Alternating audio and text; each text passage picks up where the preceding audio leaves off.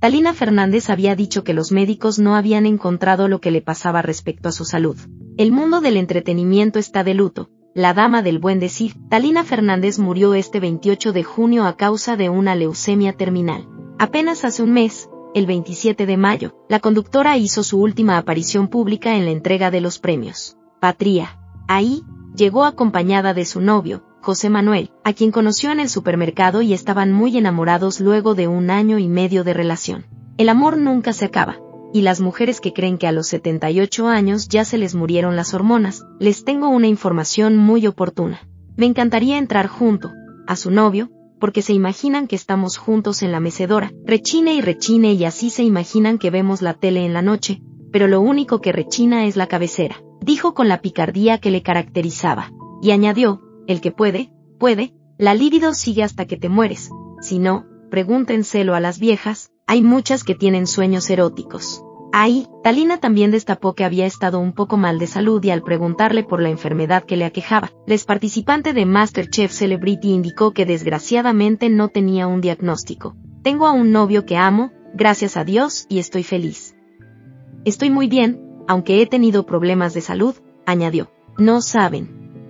Estoy con varios médicos diferentes y no le atinan y no saben qué es lo que me pasa, declaró junto a los síntomas que tenía. Estoy muy débil. No quiero salir, ni subir, ni bajar, estoy como aguada. Mi mamá decía que estaba tres peleque. Quien fuera conductora del programa matutino Sale el Sol no pudo evitar los cuestionamientos acerca de la exclusiva de Bufeo TV con su nieto José Emilio, quien comentó que hay discordia por la herencia de Mariana Levy, la fallecida hija de Talina y madre del joven. Al respecto, Talina Fernández dijo, ya son 18 años de que murió Mariana y no les han dado ni sal para un aguacate. Yo no soy abogada, pero espero en Dios que pronto les llegue su herencia. Ha sido un largo camino, y yo de leyes no sé nada.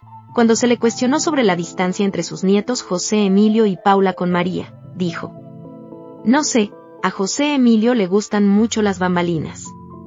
Es capaz de decir cualquier cosa. José Emilio se quedó de ocho meses cuando le ocurrió eso a mi hija, así que él no mamó la educación que tenemos todos nosotros, añadió. También habló sobre el distanciamiento entre José Emilio y Ana Bárbara, quien fuera esposa de José María Fernández, el Pirru, padre del joven, al morir Mariana. Sabes que no soy chismosa, y nunca he sido. Me vale. Ana Bárbara los cuidó desde chiquitos. Los llevaba al dentista, yo tengo mucho que agradecerle a la Peque y que Dios me la bendiga siempre, finalizó.